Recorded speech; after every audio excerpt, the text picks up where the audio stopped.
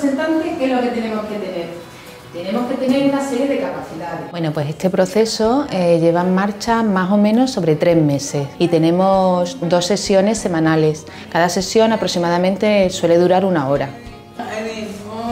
Muy bien, una de las capacidades sería ser cariñoso. El trabajo ha sido muy emocionante. Nosotros aquí en el centro de día tenemos dos grupos que trabajamos la autodeterminación. Primeramente lo que hicimos es comunicárselo a las personas con discapacidad para ver si estaban interesados en realizar este proceso.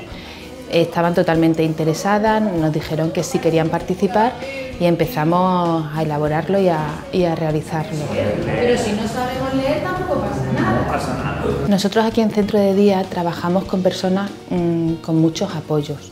Entonces las adaptaciones eh, sobre todo es lectura fácil a través de pictogramas y adaptando todo el material lo más fácil y lo más sencillo posible para que ellos lo puedan entender. No nos va a obligar nadie. Entonces, vamos a elegir a un, a un representante del centro. Pues una de las principales dificultades que nos hemos encontrado son los nuevos conceptos en los que se está trabajando. Entonces tienen dificultad para entender estos, estos conceptos. Para ello le hemos puesto ejemplos muy simples de su día a día, cosas que ellos hacen todos los días, como el registro del comedor. propia vida, las cosas que vosotros queréis hacer de vuestra propia vida, podemos participar también en la comunidad, en vuestro pueblo, en vuestro barrio. Otro de los ejemplos que le pusimos eran la- las elecciones que hemos tenido ahora recientemente y otra actividad que hemos realizado con ellos es una representación donde ellos han elegido a, a compañeros que les van a representar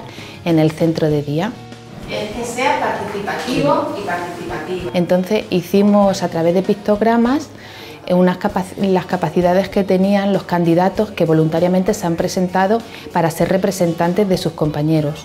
Esas capacidades han sido elegidas y valoradas por, todos los, por los dos grupos de autodeterminación que tenemos aquí en el centro de día. Ellos han sido los que nos han dicho qué capacidades tiene que tener una persona con discapacidad intelectual para representar a sus compañeros de centro de día. una, pe- una persona que sabe a la gente.